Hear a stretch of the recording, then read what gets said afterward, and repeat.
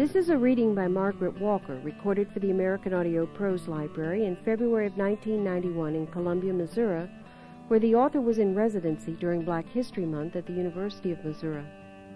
Margaret Walker has lived in Jackson, Mississippi since 1949, where she was professor of English at Jackson State College until 1968, at which time she established and became director of their Institute for the Study of the History, Life, and Culture of Black Peoples, one of the earliest such centers anywhere and the first of its kind in the South.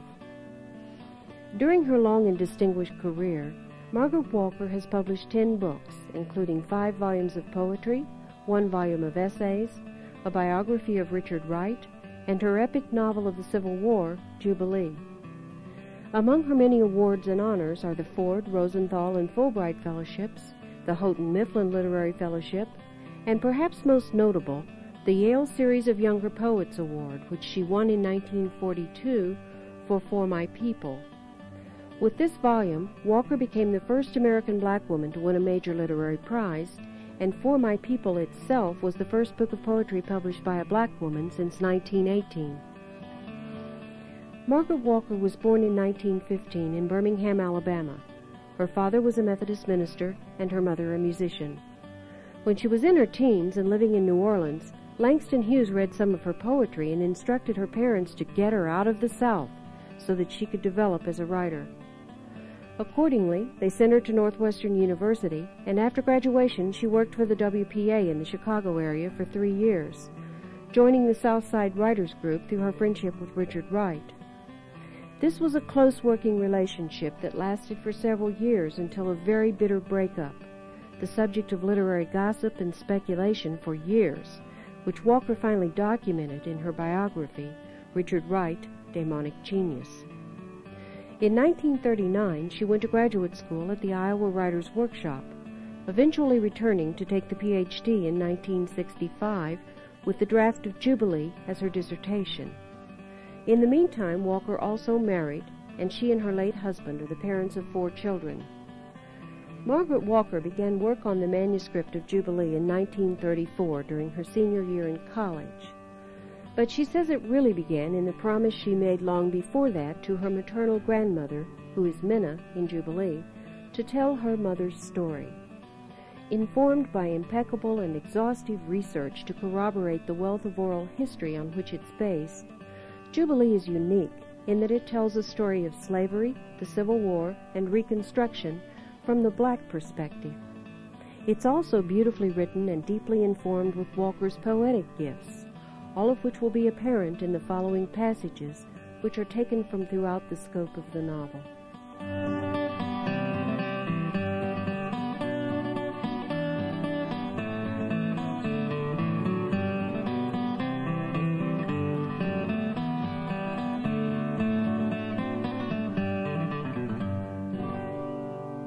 Margaret Walker.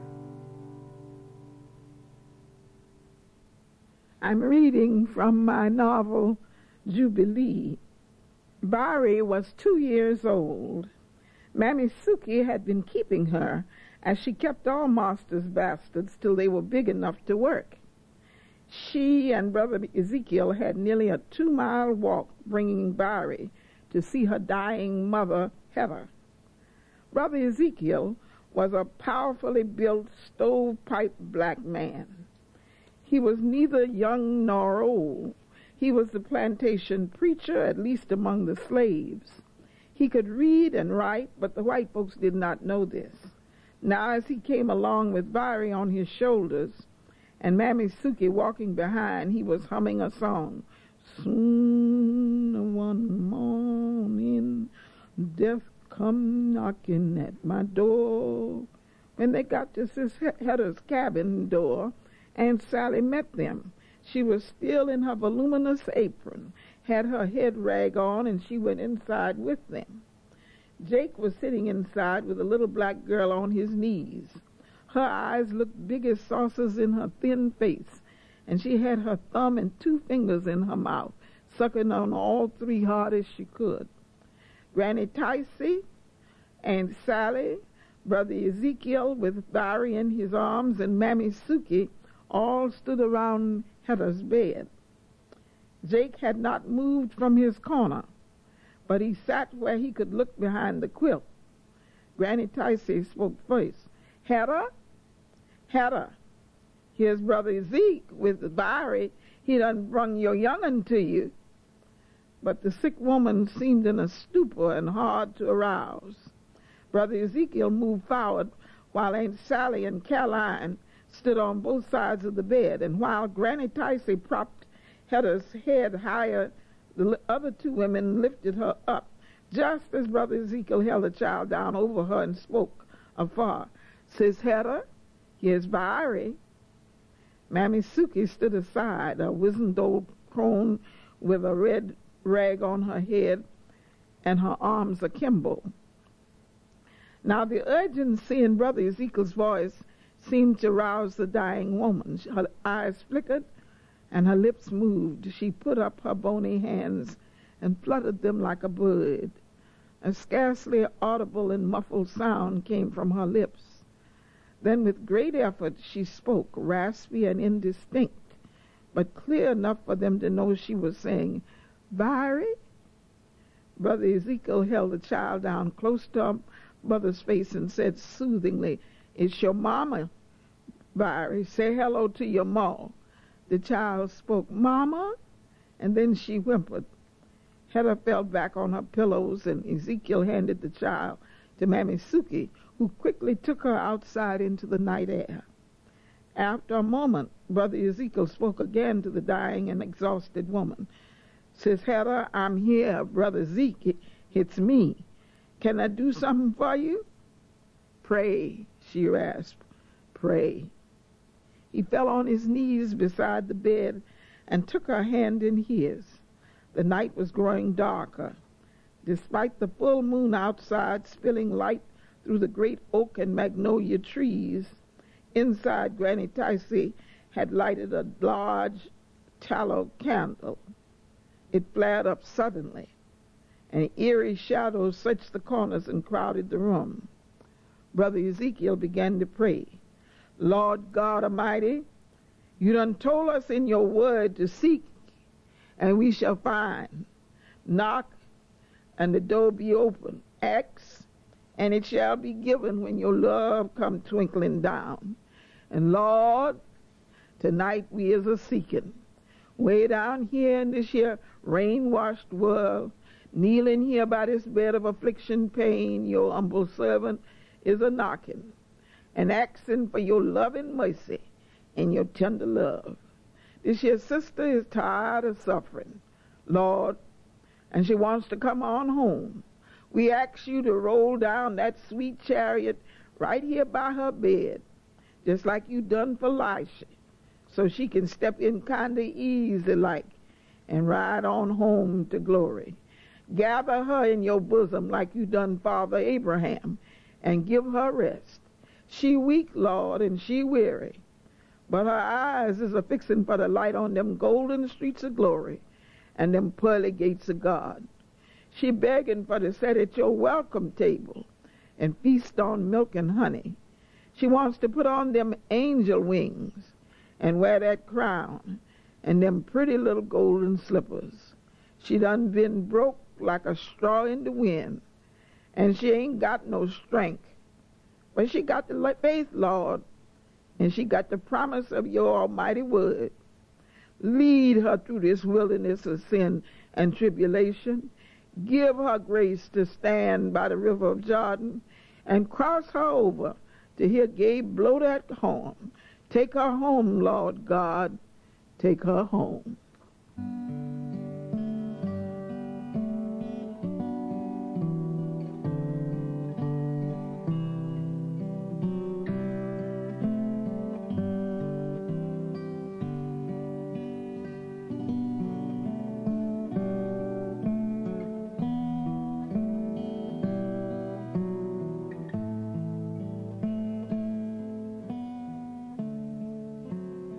Mammy Suki had said that Aunt Sally would look after Vyry.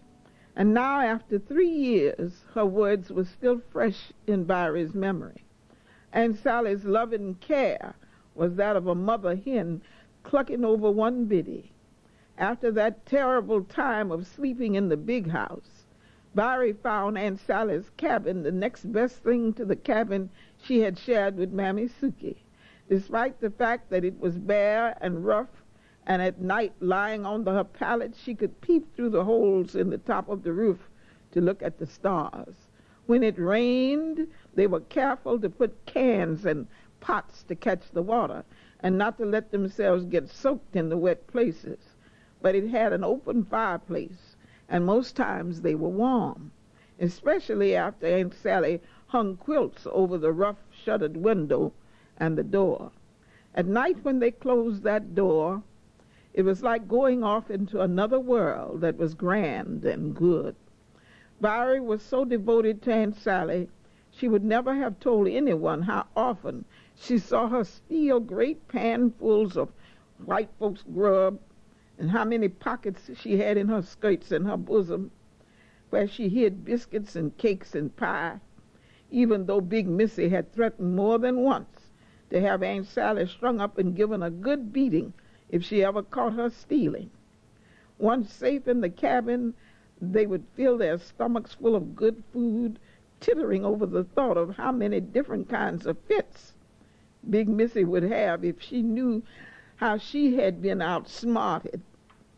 Half whispering and giggling, Aunt Sally would pull out of her apron pockets and in her bosom, and they would eat hot biscuits from Big Missy's supper table.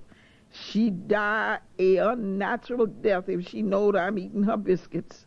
Liable to string me up and whip me, huh? I ain't cooking nothing I can't eat myself.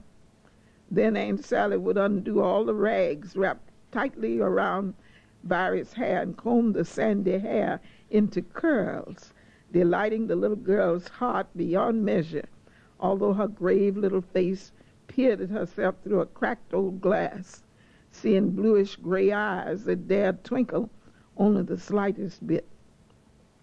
Most of all, Vyry loved the stories Aunt Sally would tell about who she was and where she came from and what life was like and how to live in the big house and get along with Big Missy. My ma come here from South Carolina, and that's where I was born at. She come here way back when Marse John's grandpappy and his pappy first come to Georgia and settled in this here wilderness. Was nothing but Injuns and woods and bigus wild animals here then. I was nothing but a teensy weensy young'un, too little to do nothing but hang around my mammy's dress tail. Every morning she brung me with her to master's kitchen to fix victuals for Marse John's pappy's family.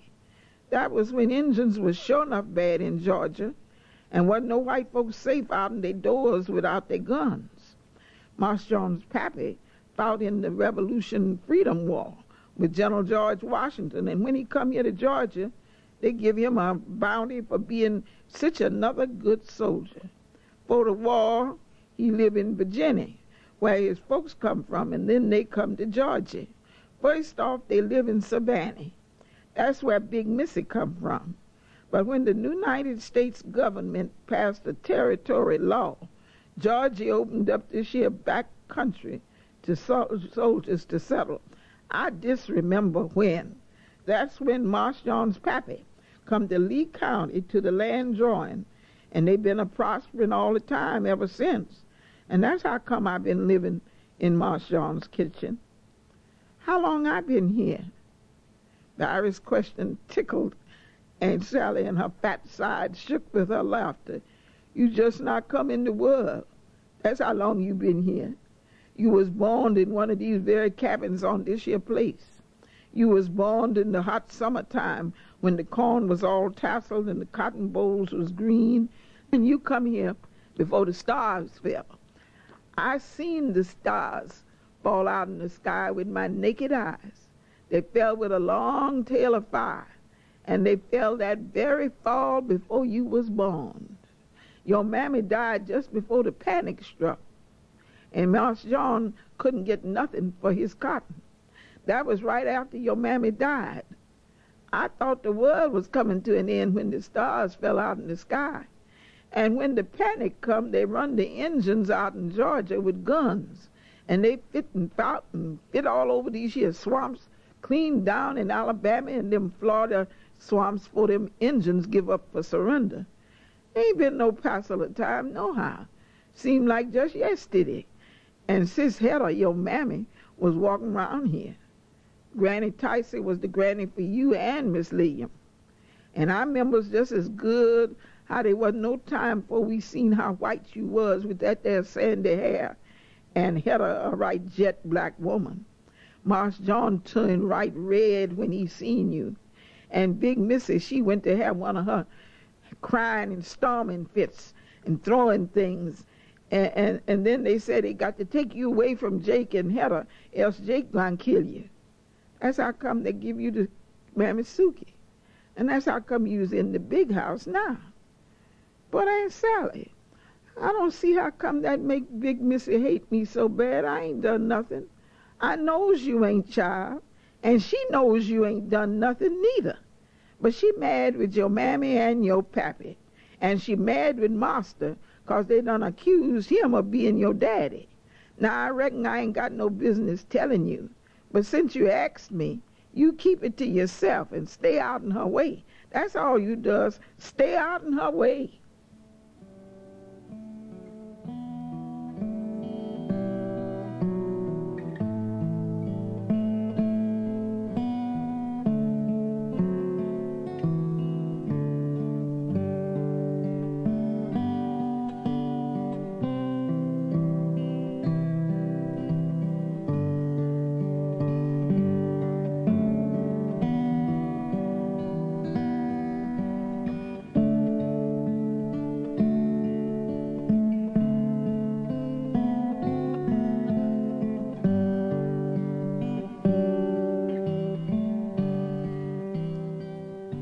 Of the largest dinner parties Vyry remembered in the big house was a big political celebration for Marse John.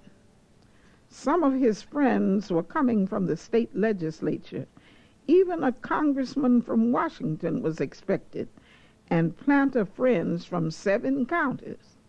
Vyry was a big girl now and could do anything Aunt Sally wanted, but there was extra help for the feast. Jake's gal Lucy was also going to help. Caroline and May Liza were in charge of washing all Big Miss's fine crystal, claret, and sauterne glasses, and water goblets, and all the different things you needed in order to serve whiskey and brandy. Sam, the carriage driver, was also butler and in charge of fixing drinks for Marse John's perpetually drinking company. He would stand resplendent in his fine black swallowtail coat and scarlet vest and gold buttons and open the heavily carved oaken door and announce the guests.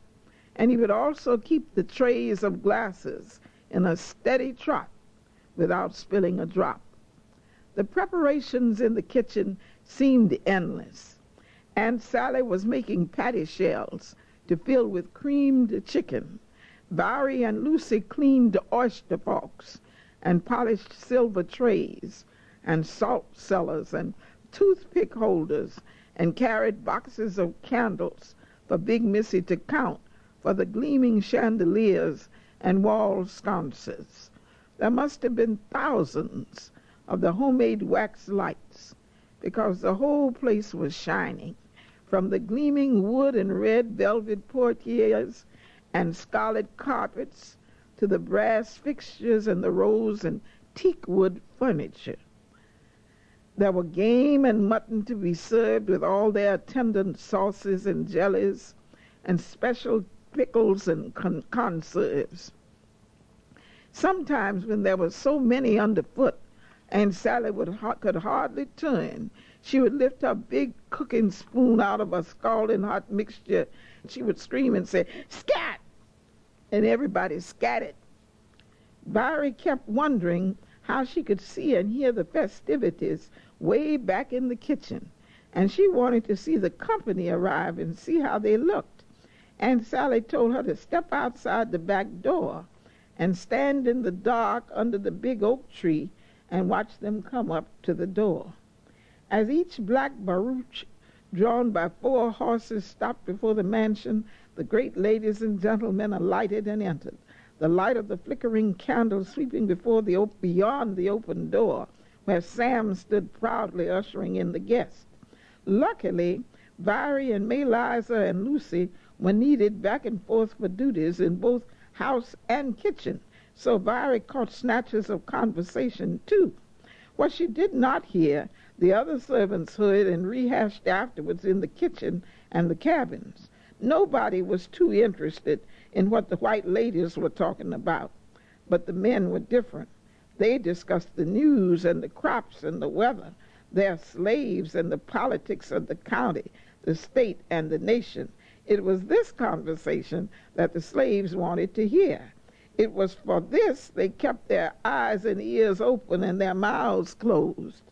As Aunt Sally said, when the women's goes into bedrooms, and the other parlors to whisper and titter over a trifling bit of nothing, then the serious talk among the men begins. Well, Jeff, said Marse John, how's crops down your way? Well, now, I reckon I can't complain. When you take into consideration the miserable weather we've been having down in my neck of the woods, I'd say crops are good. We've already sold 500 bales of cotton and my niggers are still picking in the fields. But you remember how cold it was in the spring and how dry it was all summer. And then just at harvest time, it started raining so terrible. And even as early in the fall as September, we had that right cold spell. So I didn't rightly think we'd have a crop at all. But I've got one and a fine one. Corn as fine as any in the country more than enough to feed all my mules and niggers through the winter. I'll have corn to sell. I've got my hay feed for my mules and thoroughbreds already put away. We've been planting peas too, and despite the dry weather, we had wonderful luck with the gardens. I reckon I can't complain. How's yours? Well, I haven't been to my other places yet. But I've heard from my drivers, and each one says I'll find the best crop at his place. You know how it is, every driver doing his best to outdo the others in handling the niggers and bringing up a good crop. I haven't had much trouble this year, but a lot of my niggers have, be, have been sick, and sometimes last winter as many as eight and ten a day were out of the fields, laid up and couldn't work or wouldn't work, I don't know which.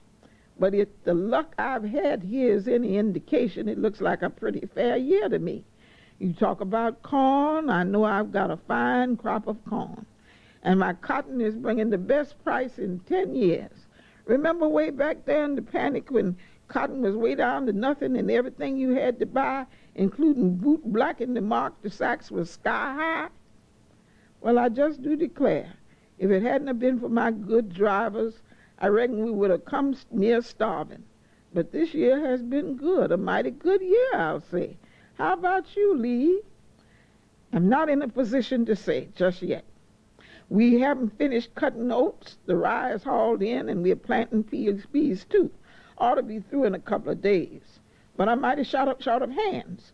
I hired old Cab from Barnum two days last week for his and his mule's feed, but the nigger didn't do one good day's work.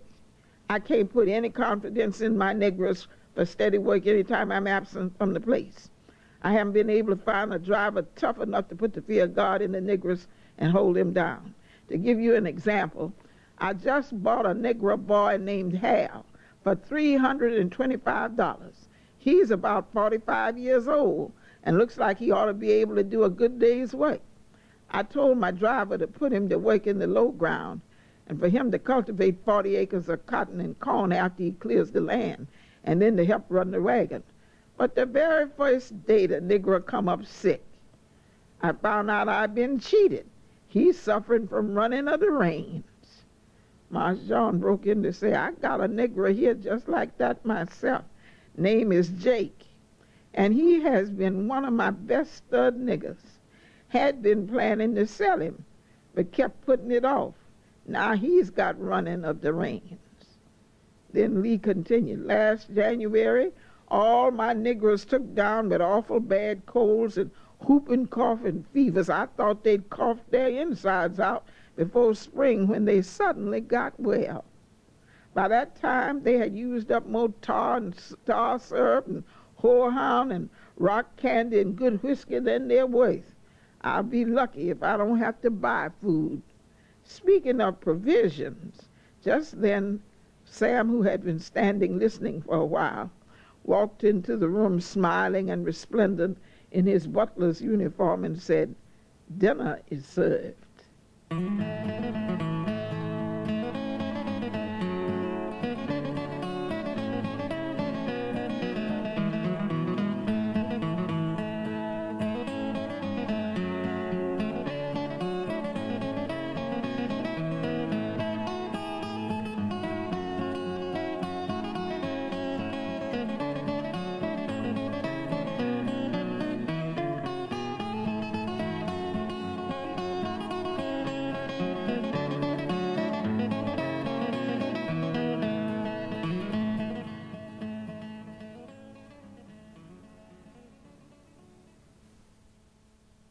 July celebration.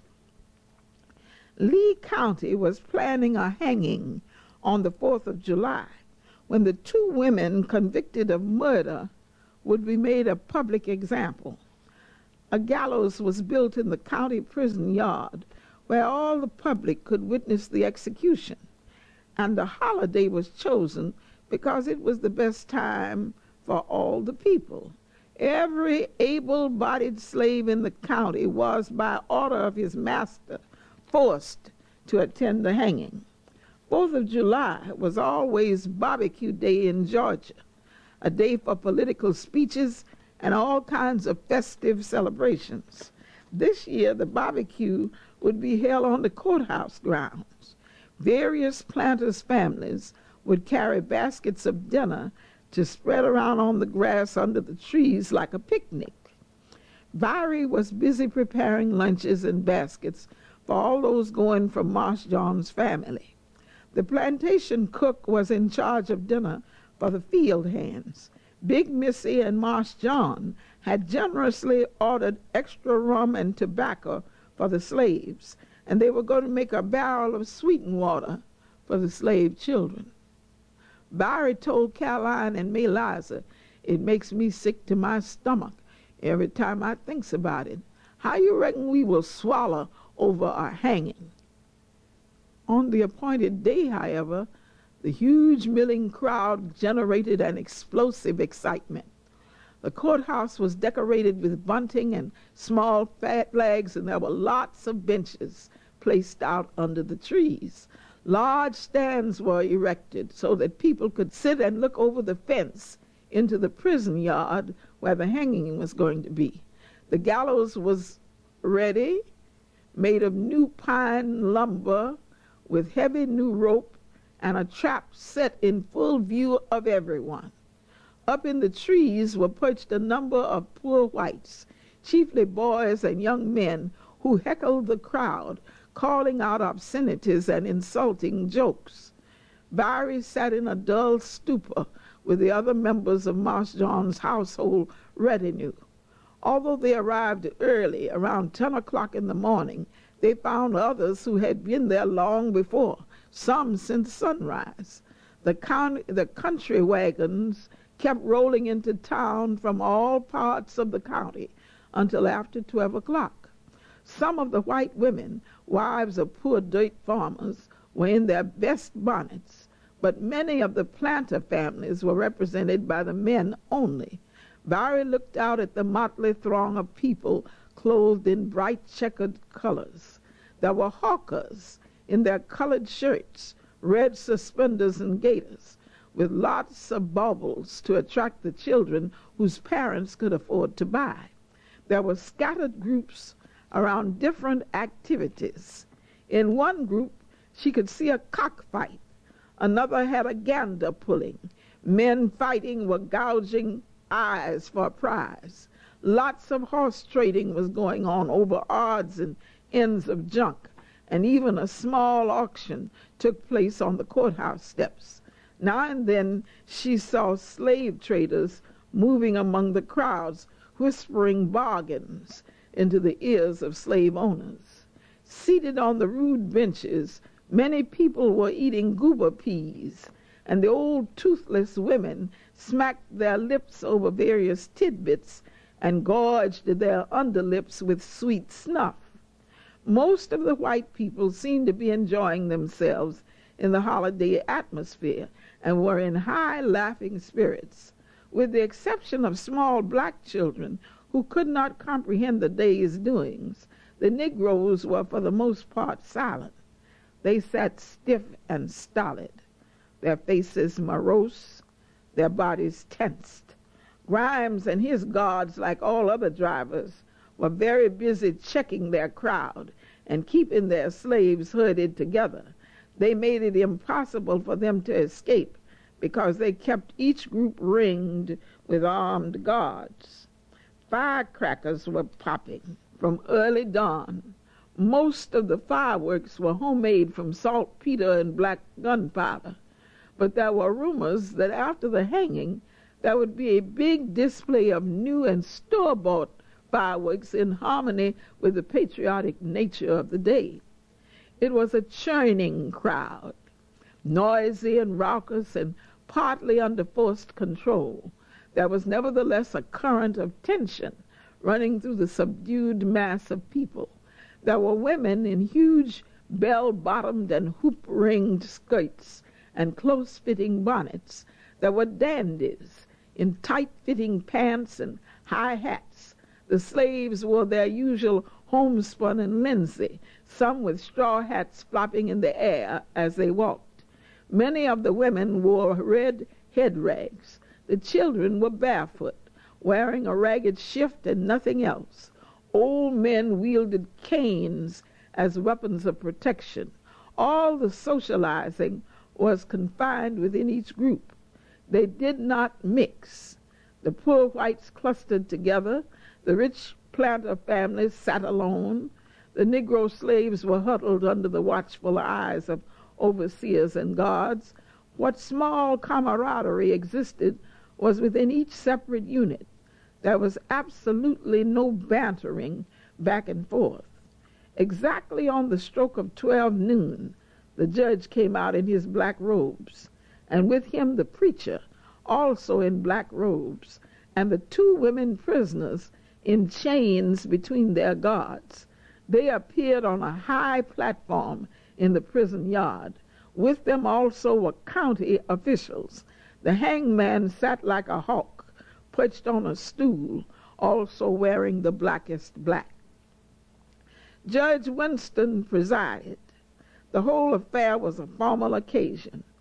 After addressing the dignitaries and the crowd, he said, we are gathered here on this 80th anniversary of the birth of our great country to celebrate another milestone in our history. We are also gathered to perform a painful duty in the course of justice and before all men. A very fine program has been prepared for your edification, and an eminent theologian has consented to bring us the sermon for this occasion. Before he begins to speak, however, we will be favored with a musical selection by a local artiste who will sing for us, Flee as a Bird to Your Mountain. This was a song Vyry loved, but the plaintive minor notes and words fell on deaf ears like so much gravel on rock or slate or tin. Her personal agony had begun. She could not bear to look at the women in shackles nor at the gallows or the hangman, much less the preacher with his oily face or the judge in his official robes of justice. Now he was introducing the speaker. Vyry promptly forgot his name, but as long as she lived, she knew she would never forget the sermon of that preacher. I opened the book of Holy Scriptures to the fourth book of Moses called Numbers and I choose for my text the words of that eternal law concerning murder. He thundered the word so loudly that it reverberated into the distance like an echo. Whoso killeth any person, the murderer shall be put to death. This is the eternal word of God, and God cannot lie. The murderer shall surely be put to death. I want to direct my few remarks to three separate groups. I want first to speak to the planters, who are masters of African slaves. My friends, I speak to you leading farmers of Lee County as your humble servant. I admonish you in the name of the Lord and the fear of God to guard your property with your lives. Remember, your slaves are your sacred property. They are committed to you as a sacred trust from God. Read in His holy word where He tells you that your bondservants are yours and you are responsible for them. You are morally obligated to teach them right from wrong. You must constantly tell them the awful consequences of evil doing and the heavenly rewards for obedience and faithful service. God does everything well and for a purpose. Since the beginning of civilized man, there have been slaves and masters, and there always will be. Slavery is a natural and righteous state. It is the civilizing principle of all great societies. Yours is the God given right to admonish your slave in the fear of the Lord, to punish him when he does wrong, and to teach him of the heavenly rewards after death that God has in store for him when he is your faithful, humble, and obedient servant. The Christianizing of the black heathen is your sacred duty. He was brought to these great shores for a Christian purpose. It is your duty to see that this great and sacred purpose is fulfilled, that the savage becomes a docile, faithful, humble, and obedient servant. Vyry could not help but think how differently Brother Ezekiel preached at the Rising Glory Baptist Church but she did not want to miss a word. And now I turn to you, black slaves. You are fortunate to have found Christian masters and to be cared for by these wonderful gentlemen. They protect and feed and clothe and shelter you. You must reward them with faithful service and strict obedience. You must obey the laws of Moses when he says, Thou shalt not kill, thou shalt not steal, thou shalt not lie. Do you know what these commandments mean? Do you know what will happen when you kill, when you steal, and when you lie? I will tell you. God says He is a God who will never forget the disobedient. He will punish you and your children and your children's children, all your little black pickaninnies down to the third and fourth generations. But he will have mercy on them that keep his commandments and obey him. When you steal from your master's crib, when you steal from your master's smokehouse, when you steal from your master's table, God sees you. And God does not forget. God sees you and God will surely punish you. So, niggas, stop stealing. Stop stealing from your masters. Stop stealing and stop lying. And woe be unto him that is a murderer. The murderer shall surely be put to death. And remember what the word of God says to you, slaves, servants. Obey in all things your masters. God meant for you to have masters. God meant for you to be slaves. God meant for you to be humble, obedient, honest, truthful, and God fearing servants of your earthly masters. If his words were having effect on his black listeners, you could not tell from looking at them Vyry looked around her, and like her own poker face, saw her expression mirrored in her fellow sufferers, not a slave turned a hair. Now the preacher began to wake himself up into a frenzy. And finally, I speak to you, you awful sinners, you guilty of the terrible sin of murder. I turn to you in the name of God and I beg you to repent. Repent before it is too late. Prepare to meet your Maker. May God look down into your evil black hearts and make the devil unfasten his hold on your souls before you burn forever in that eternal hellfire and brimstone prepared from the beginning of the world for such as you. God is a just and righteous God. God is an awful jealous God. God is a God of vengeance. But God will also have mercy on you, black sinners. So I beg you to confess your sins and repent while there is still time. You cannot be spared the punishment for your awful crimes, but for your sins. God alone will have mercy on you, that you could be so ungrateful, so evil and black-hearted and low down, that you could commit crimes so enormous against your best friends on earth against your masters, your dearest protectors, your Christian benefactors, and your kind guardians, that you should take their lives is a terrible thing. But terrible as it is, I implore you not to go into eternal hell and brimstone to burn forever in the pit of the devil's hellfire without saying you are sorry. Say you are sorry. Don't commit your souls to eternal damnation without repentance. Just say one time you are sorry and beg God to have mercy on you. You have nothing but hearts of stone? Are you nothing but cunning serpents? Are you nothing but ugly black beasts, proud of your abomination and your sin?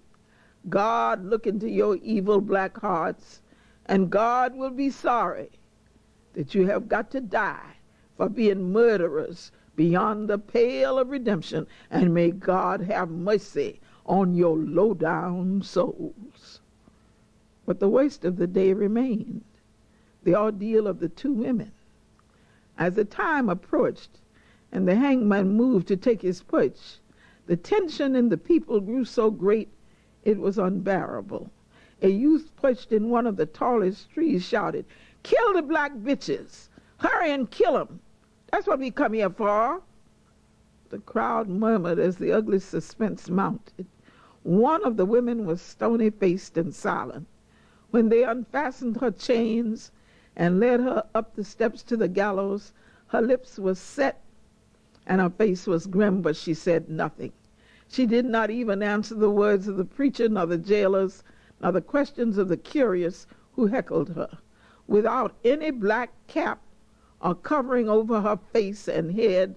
The noose was fastened around her neck and tightened, and she was throttled with her eyes popping and bulging and her tongue forced out and hanging in plain view of the crowd.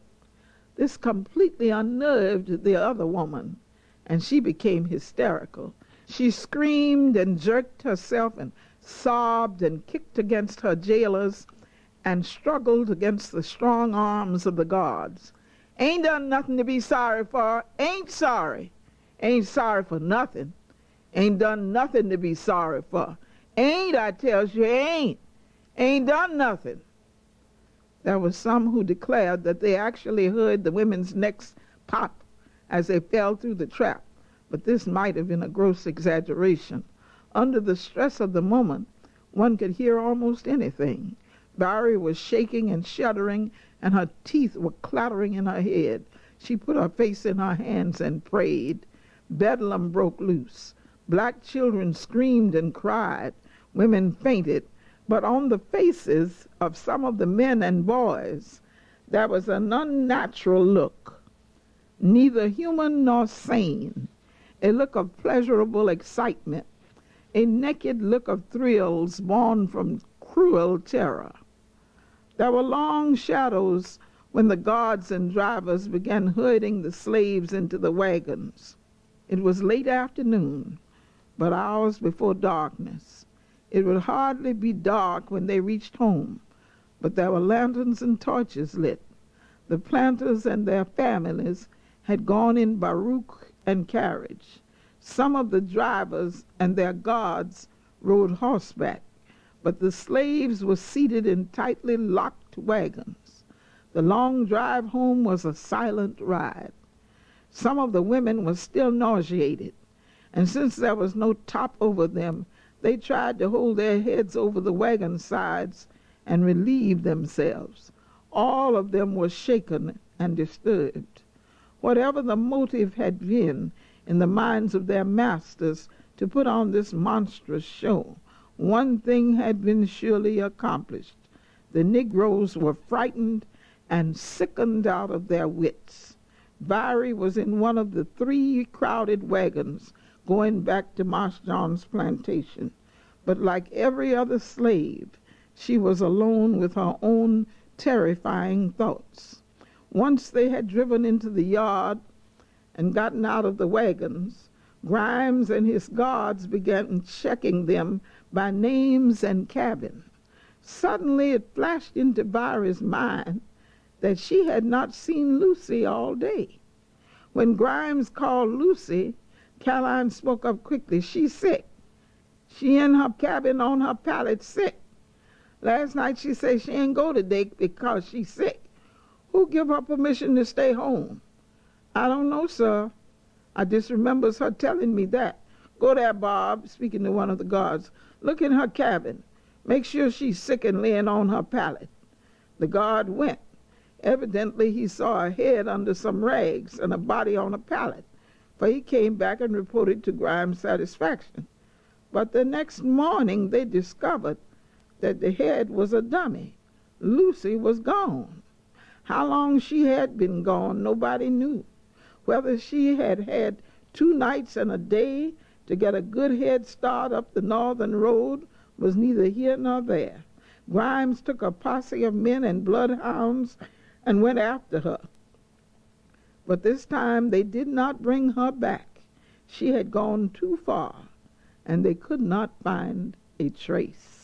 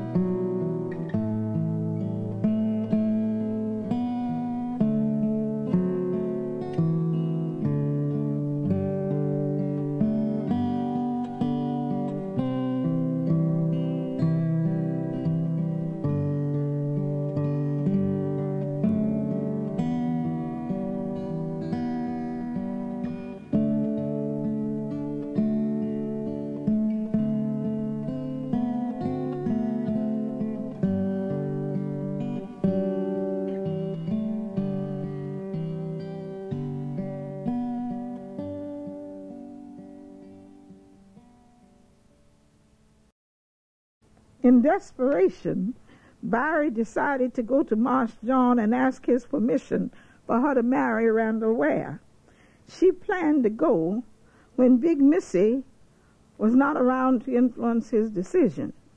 She would go in the midst of this Christmas season while his heart was softened and his generosity at its height, when he would be mellow with brandy and whiskey, and everything seemed to be going right on his plantation and therefore with his world.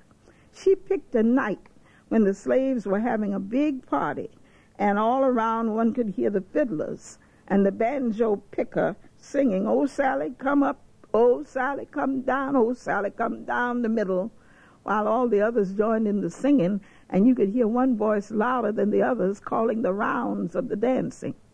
Evening to y'all, master. Vyry spoke from the doorway, fumbling with her apron in her hands. Marse John, startled, turned from his desk where he was wrestling with bills for merchandise and accounts with his drivers. He nearly let his book fall when he saw Vyry. This white-looking, thin-lipped girl always managed to make him feel ill at ease. But he spoke in such a condescending tone and his usual patronizing fashion that she would never have known how much she disconcerted him. Why, good evening, Vyry. Why aren't you over at the party dancing and having a good time? Don't feel like it, master.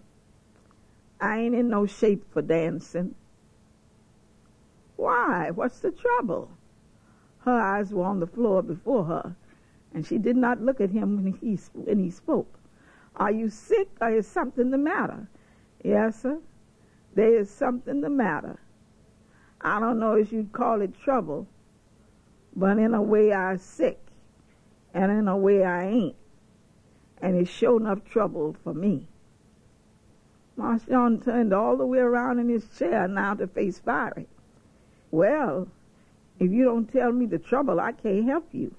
What do you want me to do about it? She lifted her eyes then and looked him squarely in the eye. Master, I want your permission for me to get married. Oh, is that all? And he seemed relieved. I thought it was something serious. You mean you're going to have a baby? Yes, sir, that's what I means. I'm big, all right, and I wants to get married. Well, now, that's no trouble. Lots of gals are get married around here every day. How do you say, jump in the broom? And he laughed. But she did not crack a smile, and she remained silent. Between them there arose a silent question, but Vyry waited for him to speak first. By the way, who do you want to marry? Is it one of my boys around here or a boy from a plantation somewhere around here? It ain't neither one.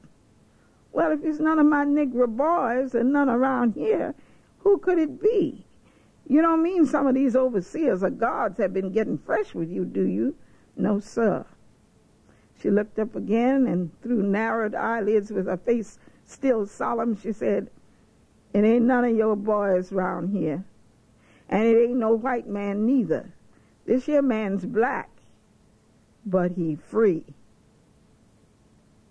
If she had shot him, he could not have been more deeply shocked. His face turned pale as death, and he looked as if he had surely seen a ghost. For a full moment that seemed very long, he could not trust himself to speak. Vyry looked at him and waited. You mean you are asking me to give you permission to marry a free issue nigger? Yes, sir, ah, I is. He ain't a slave, 'cause he bond free. Do you know what that means? I reckon so, master. I reckon I does. Why don't you ask me for your freedom and be done with it? Now he spat out the words with such fury that Vyry jumped as if he had hit her. Master, is you mad because I asked you to let me marry with my child's own daddy? Now, red with anger, he stood up and came close to her, leaving only a step or two between them, and his voice moderated to a low but urgent tone while his hands were raised as if in self-defense. You should have thought of this before you got a free-ish nigger to get a child by. Getting a child by you don't make him own you. No, own the child. I own you. And I own your unborn child. When you ask me to let you marry a free-ish Negro, you ask me by the law of the state of Georgia to set you, a mulatto woman, free. And that's a mighty lot to ask. There's a big difference between asking to get married and asking to be set free. Why, I never heard of such in all my life.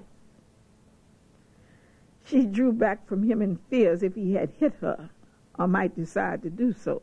Suddenly she burst into tears, and looking up at him again with the tears on her face, she spoke cuttingly. Master, does you think it's a sin for me to want to be free? Her words were knifing him like a two-edged sword. He opened his mouth and his lower jaw sagged. A dull red moved again over his face and mottled the blood through his skin. Again, the silence between them cracked with tension they could feel. But he was master of his situation, and he knew it. He did not intend to let that mastery get away from him, but now he tried another tactic. He deliberately moved back to his desk, and half sitting upon it, he crossed one leg and folded his arms. Then he looked steadily at her. So, that is what you wanted in the first place. And what do you think it would be like for you to be free? And where do you think you would go? Who would take care of you, feed you, and clothe you, and shelter you, and protect you? What do you think it would be like to be free? She knew he expected her to say she didn't know. She started to speak the sober thought in her mind that her husband would do these things for her, but she knew he would consider her impudent, so she thought better of it and held her peace. When she did not answer him, he went on, Do you think you would be better off free than you are working for me? Look all around you at the poor white people who are free. You don't want to be like them now, do you? What is it you call them? Po' buckra? They are free, free and white. But what have they got? Not a pot to piss in. Every blessed thing they get, they are knocking on my door for it. Can't feed their pot-bellied young'uns, always dying of dysentery and pellagra, eating clay because they're always hungry and never got a crop fit for anything, no cotton to sell, and can't get started in the spring unless I help them. Do you think you would be better off if you were like them? And being black and free, why, my God, that's just like being a hunted animal running all the time. All over the South now, they're talking about making free issue niggers take masters and become slaves. They're not that much better off now anyway. Suppose that happened to your free issue nigger and you fell into the hands of a cruel master. Does anybody bother you here? Aren't you free to come and go as you please? Again, she did not answer. He was watching her as he talked and seeing the growing bitterness in her face, her tight lips, her jaws working grimly as she occasionally bit her lips and twisted her hands. He tried another tactic. I've often thought about setting you free. She looked up now at this, and he thought he caught the faintest gleam of hope in her surprised eyes. But here in Georgia, it's very hard to manumit a slave. You know what I mean, set you free. I don't have the right to break the law. I would have to have you taken out of this state, carried to a state like Kentucky or Maryland where the law permits a man to set his slave free if he wants to. Here in Georgia, manumission is only permitted as a great reward for saving a white person's life, and sometimes in great exceptions when a slave has been very faithful. On the death of his master, he may be set free. When I die, you will surely be free. It's already in my will. Now the scorn in her face was quite apparent to him. He knew she did not believe him, and he was withered before her scorn. He had no additional weapon with which to fight such scorn, and he was forced to drop his eyes and hang his head. But when she still said nothing, he quickly brought this painful conference to an end. Now that is all. I'll have to ask you to leave. I was working on my accounts, and I'm very busy tonight. You'll have to excuse me. Dismissed, she turned with drooping shoulders and went out without saying another word. But now her hope was shriveled and dead within her. Her beautiful dream of freedom again seemed forever lost. Sitting alone in her cabin door with her own bitter thoughts, she heard music. In her mind there was the bitter music of an acid little jingle she had heard the slaves often sing among themselves. My old master declared to me that when he died, he'd set me free. He lived so long and got so bald, he give out the notion of dying at all. Over and over the bitter jingle kept recurring to her. But the music she heard floating out on the balmy December air was another Christmas carol, also in keeping with the season and her thoughts. Oh, Mary, what you gonna name your newborn baby? What you gonna name that pretty little boy?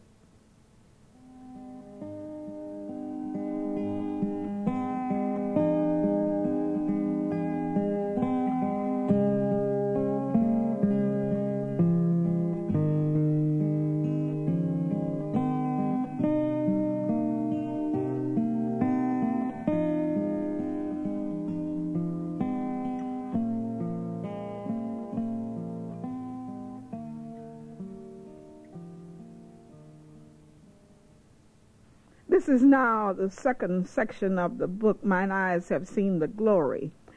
And the young master is in this in the army, and we see him here in combat and just before the battle in, in which he is injured. They were bringing up the big guns for battle. All day long the wagons were rolling the roads across the mountain were crisscrossed with men and horses and heavy artillery. Johnny could see from his position in Pigeon's Gap how the September sunshine dappled through the thickly growing trees, while on all the wide open spaces and fields around the dozen farmhouses were golden yellow. It was a sunny primrose scene that lay before him like a picture painted by a sun-drunken artist. In the heavily timbered areas, there was an impeding undergrowth of tangled vines and brush, not unlike the thickly growing vines and flowers that grew in his native section. Everything here was dry, however, dry as tinder, and ready to blaze into burning bonfires at the slightest touch of flame. Where he lived, on the other hand, the land was damp and marshy. There it was all low ground and wet swamp land, with the rich alluvial soil in the river valleys of the Flint and Chattahoochee. Here the little stream known as Chickamauga Creek that meandered through the mountain was shallow enough to wade across. This was hilly, mountainous, and treacherous country, hard to move across and impervious as roads for animals, wagons, or men. These mountains were natural battlements and fortifications. They obstructed the view for the people in the valleys below. But on the mountain top, the view was wonderful. Johnny could look across Missionary Ridge and Lookout Mountain yonder in Tennessee, then back again across Sand Mountain and Raccoon Mountain in Alabama, while here on the south bank of this West Chickamauga Creek, he was guarding the northern gate into his beloved Georgia, and the vistas were breathtaking. It was as if he stood on top of the world, astride his beautiful horse, riding the crest of the sky like a young sun god fighting a phaeton, with the rays of the sun highlighting his brown hair, and the earth spread before him in the low valleys like a golden brown and clay red bordered carpet. The people in the plains looked like tiny black and red insects, scurrying back and forth for food and drawing up their lines for ant battles. Even the shiny black rails of the railroad trains, chugging and puffing into Chattanooga, were toy tracks and seemed of no importance from this immense distance. Those railroads crisscrossing through the mountainous terrain were the supply lines, however, for General Bragg's and General Rosecrans' armies. And they went east to South Carolina and Virginia, west to St. Louis, Missouri, north to Illinois and Ohio, and south to Alabama and Georgia. Johnny was 22, and he had found the whole meaning of his life in this war. He had come through Antietam and three subsequent raiding parties with Wheeler without so much as a scratch. He had led such a charmed battle life that he felt himself almost invulnerable. He was accustomed to the din of battle, to the smoke and fire, the terrible noises of the horses and guns.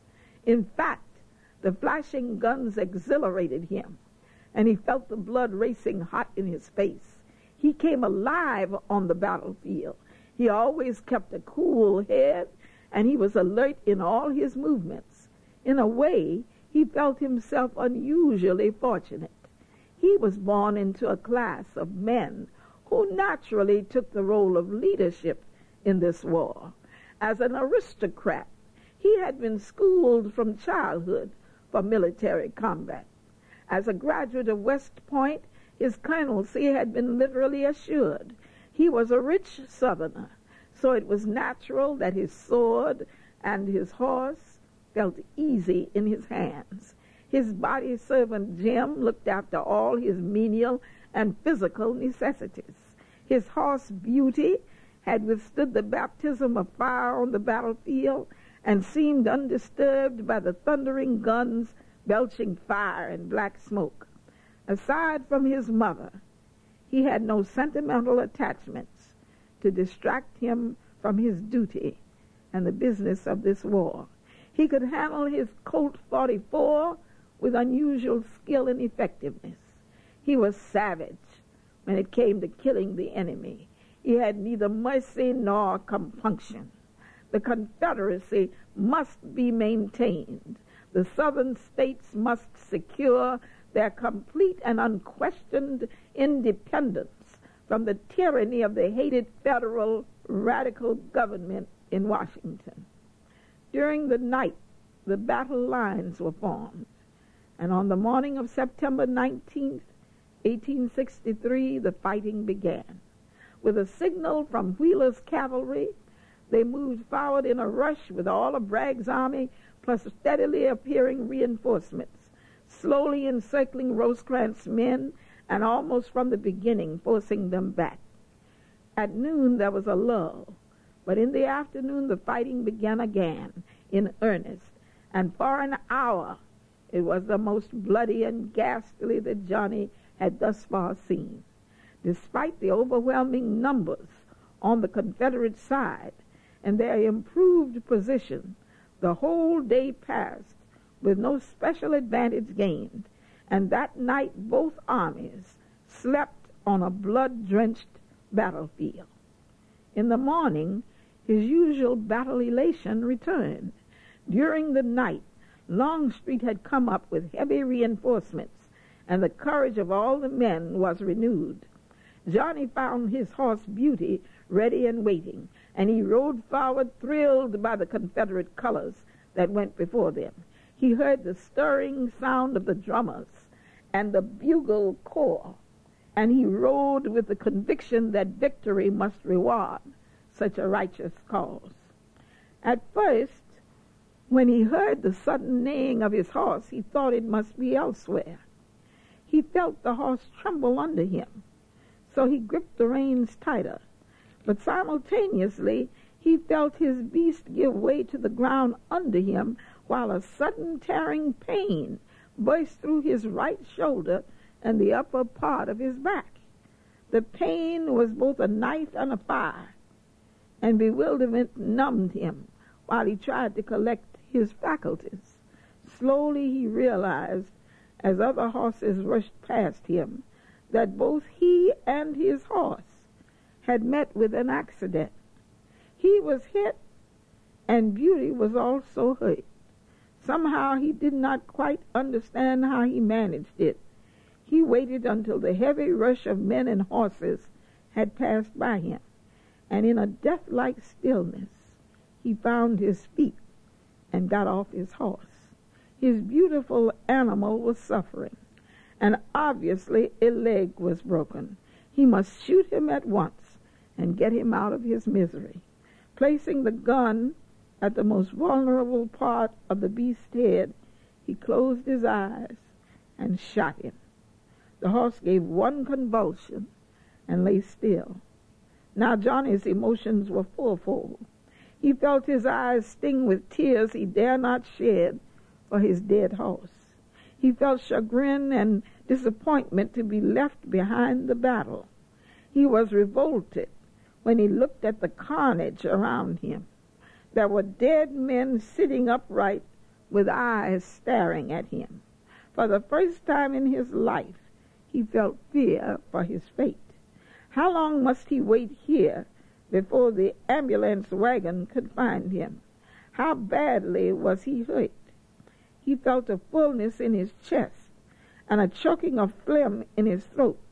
But when he felt obliged to clear his throat and spit, he saw his sputum threaded and colored with blood. The tearing pain, once it had sizzled through him, had just as suddenly subsided. He tried to rest himself against the body of his dead horse and thus be still and protect his wound as long as possible.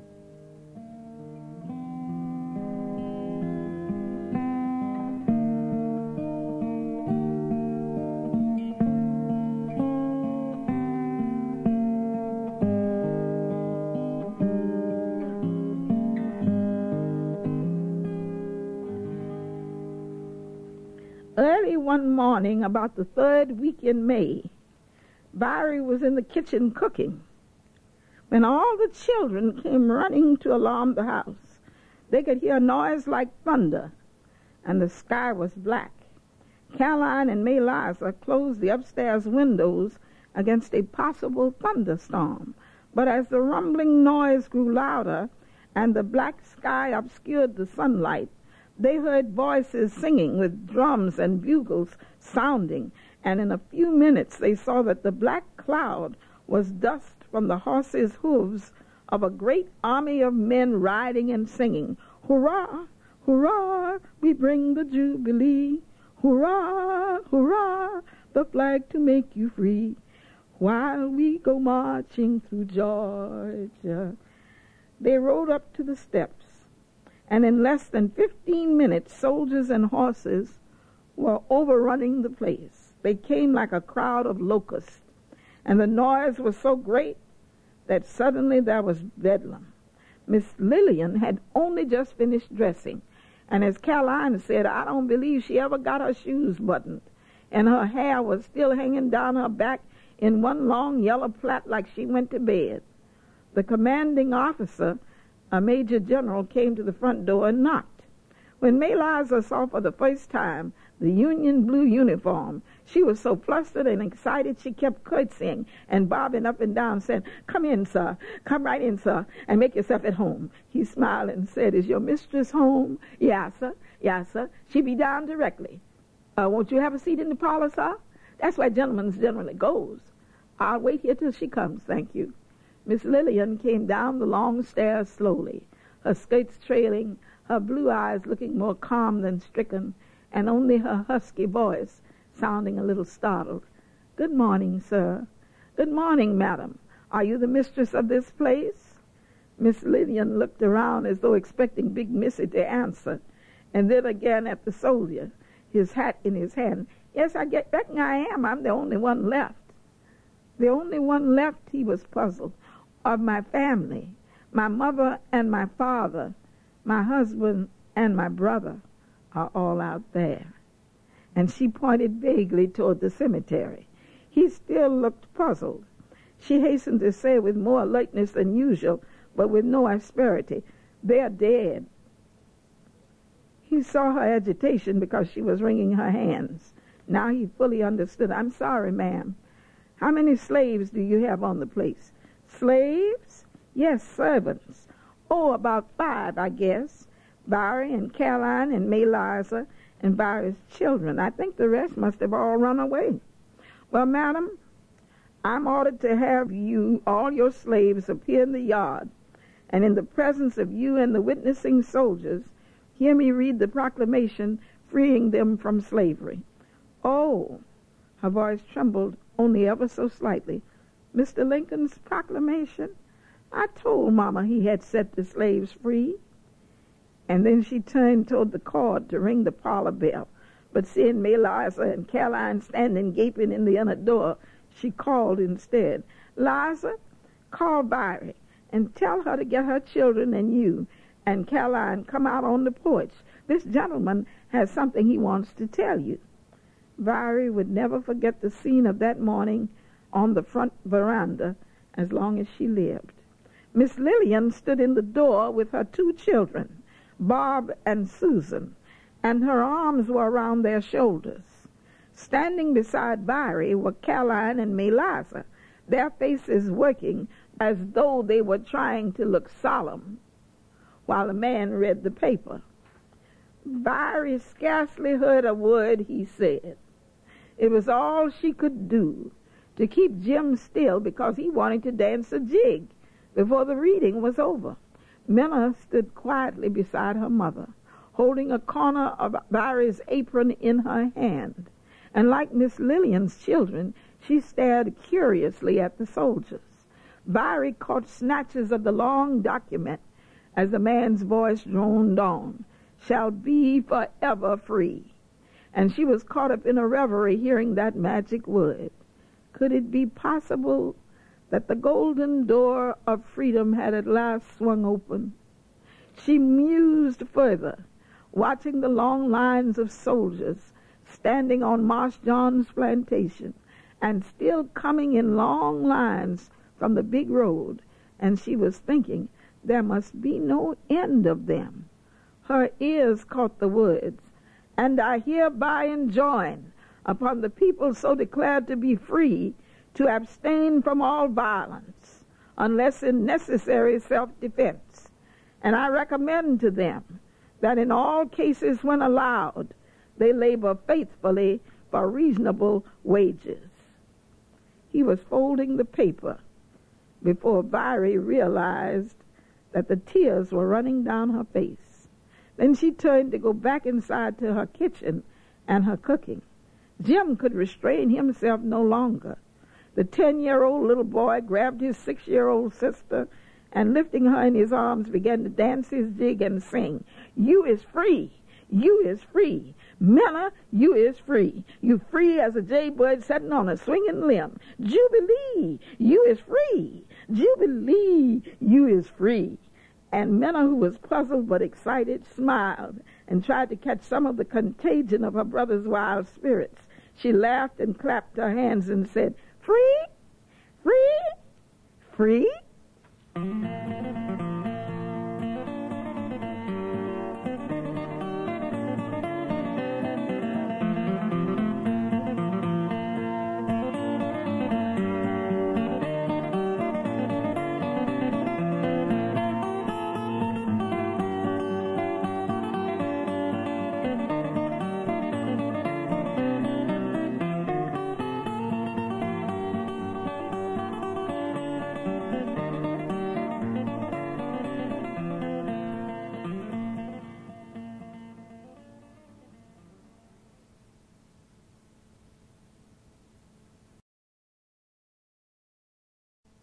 I sit upon a hornet's nest. I dance upon my head. I tie a viper around my neck, and then I go to bed. I kneel to the buzzard, and I bow to the crow. And every time I wheel about, I jump just so. Wheel about and turn about and do just so. Every time I wheel about, I jump Jim Crow. Ku Klux Klan don't like no coons. The first morning Randall Ware worked in his shop after the expulsion of Negroes from the Georgia legislature, he had a caller. Ed Grimes appeared in the open space where Randall Ware was shoeing a horse and said, Nigger, do you own this land? Startled, Randall Ware looked up and caught his breath before answering. Mister, you are standing on my property. And if you doubt it, you can find the deed recorded in the courthouse. I didn't ask you for any of your impertinence. I've seen the records. Looks like you own nearly all the good land around here. I own a fair share of the land around Dawson. I happen to come by it honestly. Well, you got a piece I want to buy. Where is it? Grimes went to the grist mill adjacent to the blacksmithy and he pointed diagonally across the railroad tracks to the land he had in mind. I'm sorry, said Randall Ware, but it's not for sale. Nigger, are you telling me no? I'm saying I don't want to sell. Well, we'll just see if we can't find some way to make you change your mind. And with that, he turned on his heels and left the place.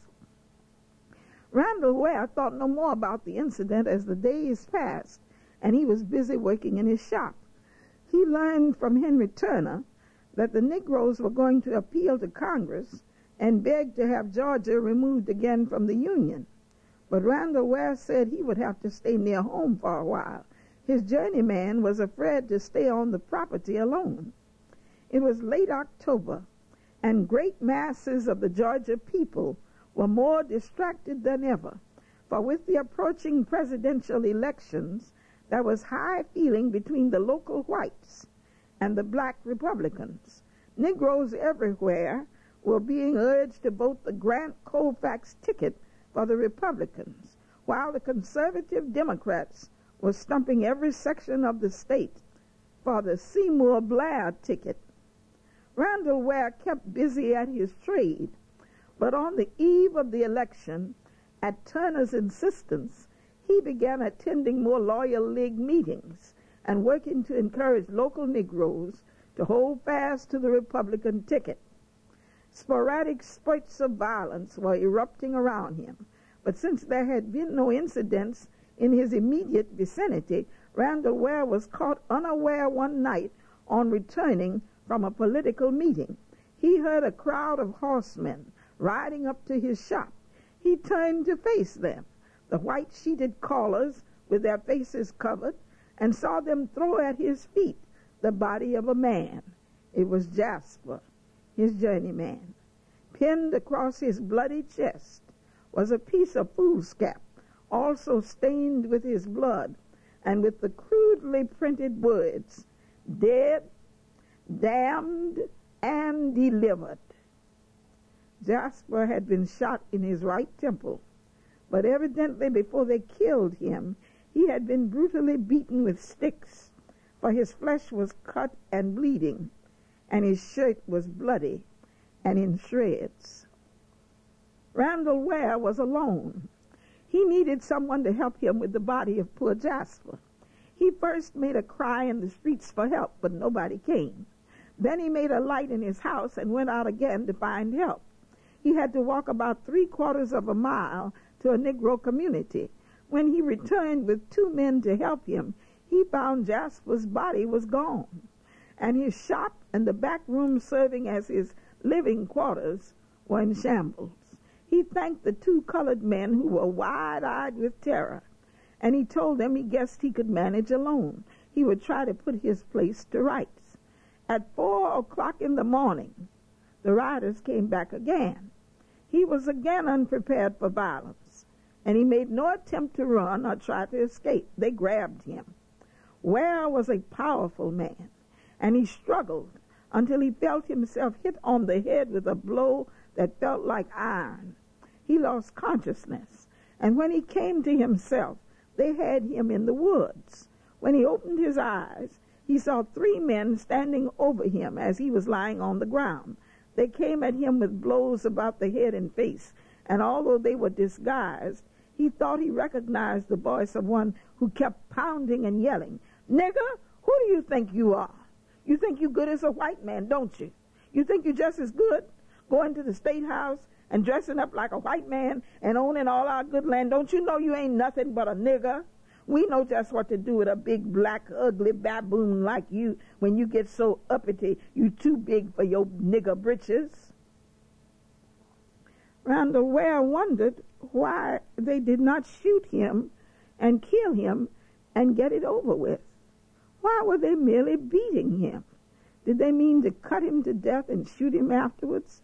Then he heard one whisper, Why don't we kill him now? No. I said, No. He got all them papers in the courthouse, ain't he? How we going to get that land if we kill him? Beat him an inch of his goddamn life, but don't kill him. It was broad daylight when they rode away on their horses. For a long while, Randall Ware lay on the ground, half conscious, bleeding, and so sore he could scarcely move. His lip was cut, and he knew there was a bad cut over both eyes, and his face was swollen twice its size. He also had a large, painful lump on his head, and about his back and shoulders they had beaten him with what felt like wooden clubs, but were actually stripped branches from the trees. He got to his knees, but when he tried to open his eyes, the blood ran down his face. He tried to stand and found he could not. So he began to crawl on his hands and knees out of the woods. It was late afternoon when he finally made it into his shop, and then he was so exhausted he fell on his bed to sleep. In the darkness he awakened and lighted a lamp. He began to care for the cuts and bruises on his face and head. When he heard such a loud commotion in the streets, he looked out and saw riders coming again. This time he would not wait. He quickly put out the lamp and ran into his grist mill. There he made his way to the great wheel that pulled the mill by water power, and lowering himself quickly, he dropped down into the water while holding to the rim of the half-submerged mill wheel. He was not a minute too soon. He heard their voices and knew they were in his shop and house again. They ransacked the place again and began yelling and cursing and calling his name. I told you we ought to kill that black bastard. We got to teach him a permanent lesson. How long can we waste time here looking for him? He ain't going nowhere. We can come back and get him later on. And they left. But Randall Ware, now deathly afraid, waited another full hour before he came out of his grist mill after hiding under the water and holding on to the great wheel that ran the mill. Early the next morning, he had another caller. This time he would not answer, and he peeped out stealthily to see who it was. It was old Doc, and he was banging on the door. Let me in. It's only me, Doc. Let me in, Ware. I know you're in there. Randall Ware let the doctor in. At first, the black man glared at the white doctor, his swollen face and lip and half-closed eyes making him look like some half-mutilated animal.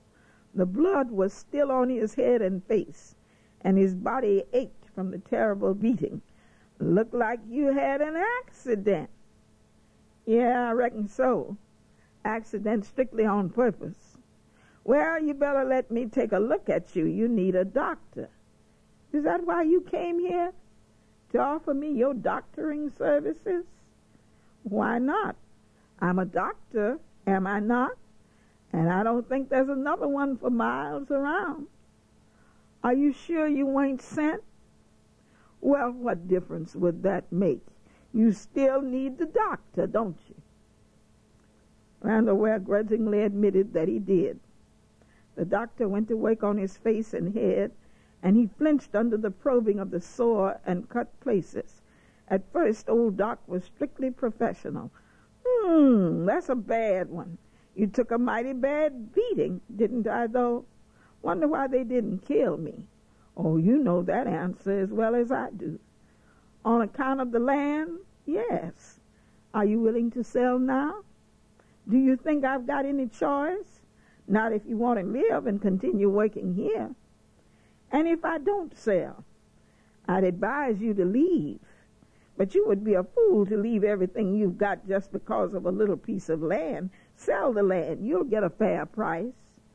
Randall Ware snorted with a bitter sounding grunt. The doctor worked a while longer in silence. And when I sell this piece, they'll want another and a bigger piece. And that will keep on till I don't have any left. Oh, I don't know about that. There's a limit to most people's greed for money or for land, for votes or for power. Well, now you might as well give up the idea of power and voting. You're going to get yourself absolutely killed if you don't quit all political activity. I thought you came to bring me a message. I can carry back your answer if you desire. And if my answer is not what they like, well, I couldn't say what might happen. You might have night visitors again. And this time you might end up like your journeyman Jasper. It's not necessary to go that far unless you don't value your life and property. More than my liberty, more than your liberty. Well, I guess I had forgotten your role on the Dutton plantation. You are a real humanitarian doctor at your service any time. Shall I tell them you will sell? I need some time to think about it. They won't be giving you much time. Yes. Damn them, yes. Tell them I'll sell. Tell them I'll leave. Tell them I'll leave off politicking. Tell them to save my miserable neck I'll cease resisting and desisting. Tell the hellish rebels I say yes. And he burst into a fit of oaths. He put his head down in his hands, and when his shoulders had ceased shaking, he looked up and found the doctor was gone.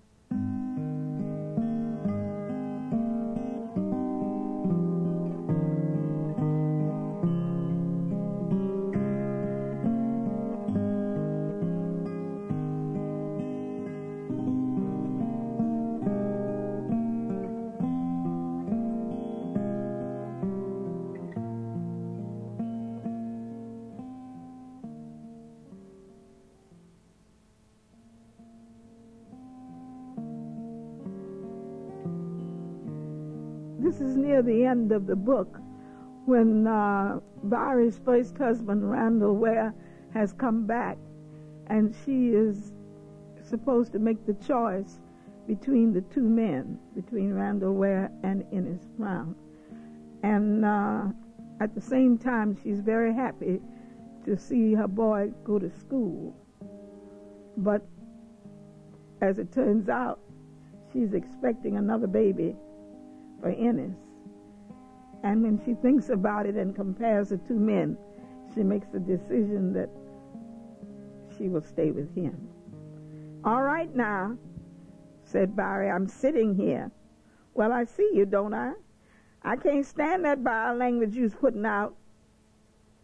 Oh, I forgot about that prissy old white woman who was mistress on the plantation where you come up. You ought to seen her. Did you ever see her? And Randall Ware turned his question to Innis, who was struck dumb by all that was transpiring. And he shook his head no, because he was too dumbfounded to speak. Well, that old white woman looked and talked and acted like she was Queen Victoria. Big Missy, they called her. She reared all the niggers and white folks around her just as prim and prissy as you please. She had a son who thought he was Prince Charming. I heard he was killed in the war and she died too. I wonder whatever happened to her stupid daughter that she bossed around when she was full grown. Who you talking about? asked Vyry. Miss Lillian? Listen to her. Miss Lillian? And he mimicked poor Vyry, who was shocked out of her wits to hear Randall Ware discuss her white folks in such sacrilegious terms. Yeah, that's the one, Miss Lillian. Whatever become of her? I told you she lost her mind, and I don't think it was one bit funny neither. Well, what would you expect from somebody never taught one day in her life to look the truth in the face? How is she going to cope with real life when you pull the rug out from under her and she no longer can sit on a cushion and feed upon strawberries and cream? Well, what I started to say was, you couldn't have told that old white woman she wasn't fit to be an angel? She was a pious Christian lady, if ever I saw one, just as prim and prissy as you please. She left her prissy mark on everybody around her, including Vyry. That's why she can't stand bad language. And so far as education is concerned, I tell you, it may not be the only way for our people, but it is the main way. We have got to be educated before we know our rights and how to fight for them. All the violence and killing that colored people have suffered since freedom may just be a drop in the bucket to what they put on us in slavery time. But God only knows what it will be in the future. Well, all I got to say, Randall Ware, is I can't understand you no more than I can understand evil white peoples when ain't got no shame and ain't got no God. But I ain't gonna try to beat the white man at his own game with his killing and his hating neither. I know it's deep down in my heart that there is a God. And he ain't going never forget his children's. No more than I'm going to forget mine whilst I'm living in this world.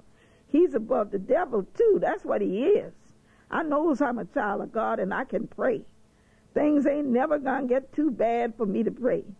And I knows, too, that the good Lord's will is going to be done. I has learned that much.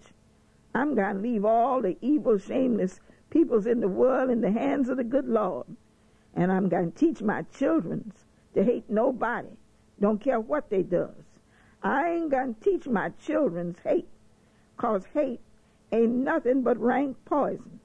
I knows there's evil peoples in the world. And I knows everything don't always turn out like we think is right.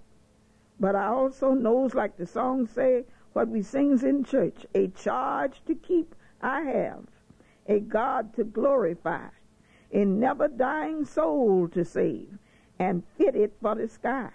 You've been talking all day long now, and I've been listening.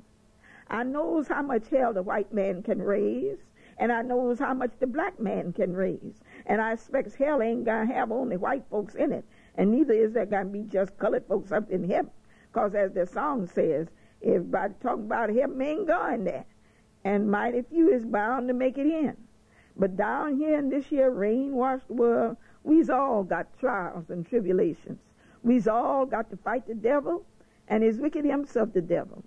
Poor colored folks ain't gonna have no more put on us than we is able to bear. We's done come through slavery, and we is free at last. I knows we's got to wander a while in the wilderness, just like the children of Israel done under Moses. But when the battle's over, we shall wear a crown. I ain't gonna get tired of well doing because I got shot glory one of these mornings when the wicked world is on fire. God don't promise to make our way easy. Jesus, I reckon, wore his crown of thorns. Ain't nobody knows the face of evil more than I does. You done call me a white folks nigger and throwed up my color in my face cause my daddy was a white man. He wasn't no father to me. He was just my master. I got my color cause this is the way God made me. I ain't had nothing to do with my looking white no more than you had nothing to do with your looking black. Big Missy was mighty mean to me from the first day I went in the big house as a slave to work. She emptied Miss Lillian's peapot in my face. She hung me up by my thumbs. She slapped me and she kicked me. She cussed me and she worked me like I was a dog. They stripped me naked and put me on the auction block for sale. And worstest of all, they kept me ignorant so as I can't read and write my name. But I closed her eyes in death, and God is my witness, I bears her no ill will. Old master was my own daddy, and he never did own me for his child. I begged him to let me marriage with you and go free, and he said no. He ain't punished nobody. When he stand to see them beat me, she stopped and looked at them frightened, almost panic-stricken. For in waking herself up to this pitch, she suddenly realized that she had never told either one of them that she had been beaten. But they caught her words, and suddenly they were both standing over her. What did you say? asked Innis. Who stood to beat you? asked Randall Ware. Then both of them together said, When? Now Vyry was crying. She realized she had gone too far not to go on. She was fumbling at her waist and her apron, at the buttons fastening her clothes. Suddenly snatching at her clothes, she tore them loose and bared her back. That's what they done to me that morning when I was trying to meet you at the creek. That's how come I got them there scars. Hysterical now, she had thrown off piece after piece of her clothing. And now in the moonlight, the two men stood horrified before the sight of her terribly scarred back.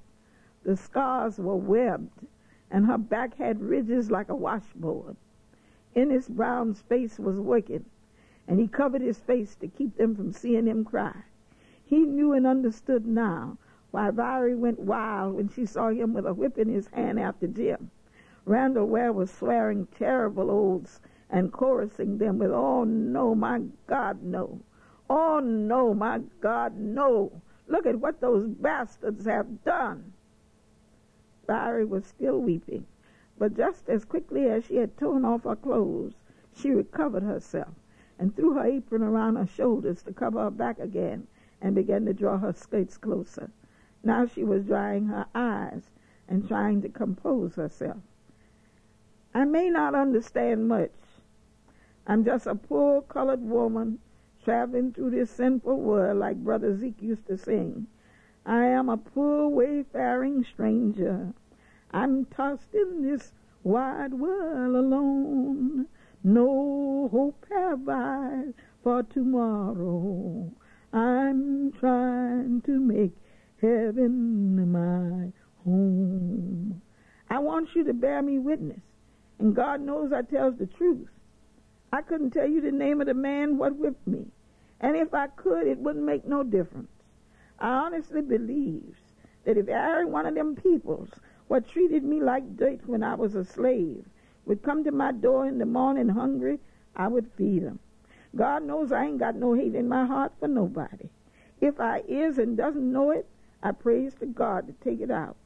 I ain't got no time to be hating. I believes in God, and I believes in trying to love and help everybody.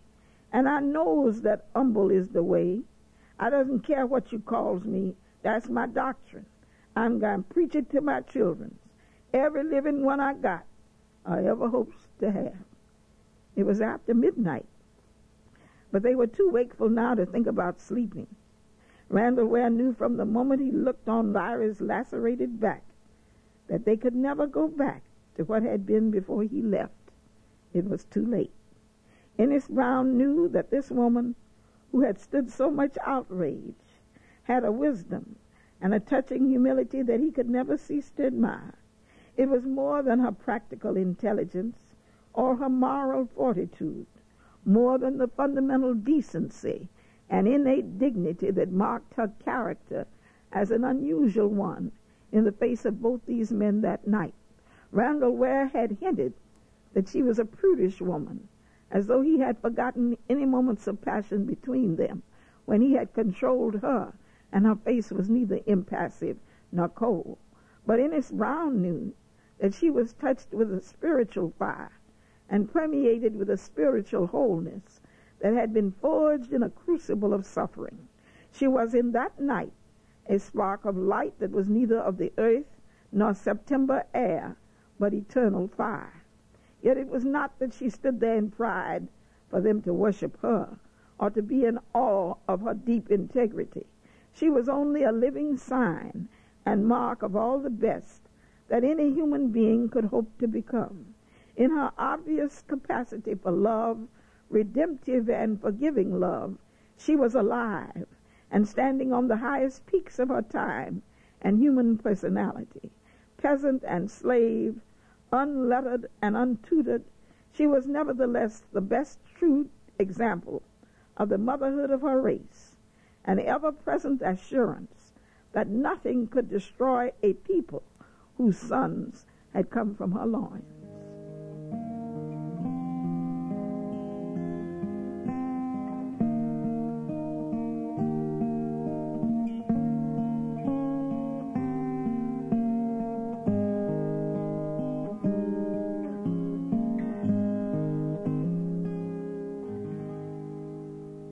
The last chapter. Howdy and goodbye, honey boy. Vyry was moving around quietly in Jim's room, hoping not to disturb him. But then she felt his eyes on her and saw he was awake. Ma, yes, Jim. I sure hates to leave you, but I sure is glad to go to school. I knows, and I'm glad for you. I've been praying for a way to send you to school, it wasn't going to be easy to send you to town to school this winter, and your pa needing you here on the farm. I knows. And he was saying he wasn't going to spend the money. Yeah, but he's going to miss you just the same. Much as he grumbled, it's going to be worse when he ain't got nobody to help him.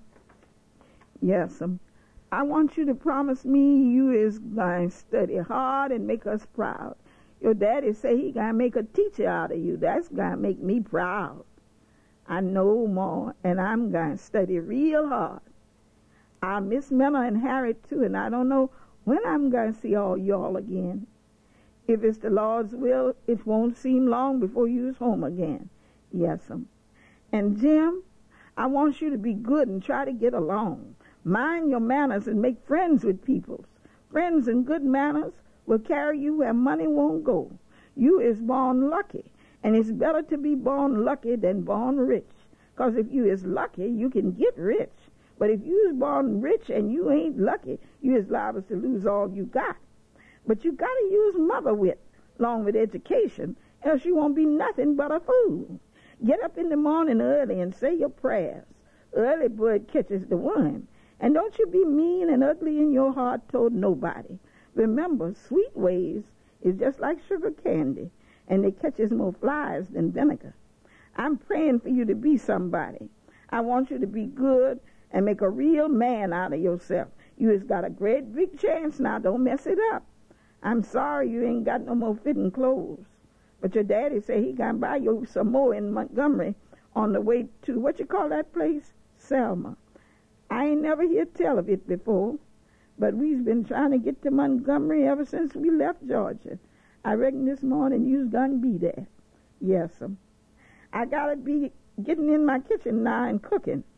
You get up now, clean yourself up, and put on them that clothes and straighten up this here room. I reckon this gonna be Harry's room now when you gone. Yes'm. And Vyry went out and closed the door.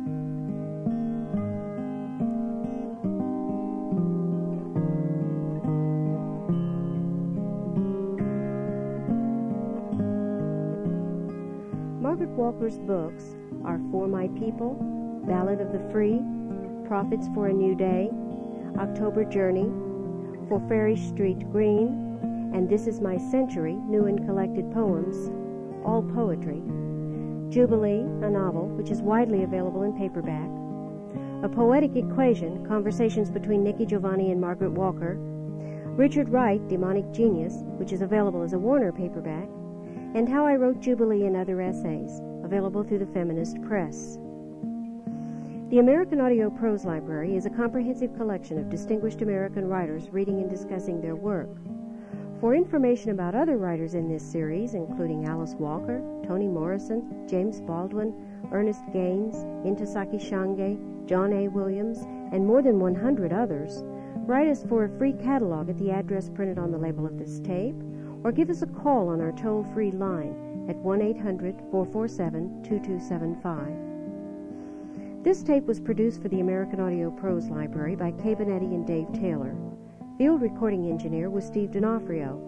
And our thanks to Professor Michael Middleton of the University of Missouri School of Law for his invaluable assistance.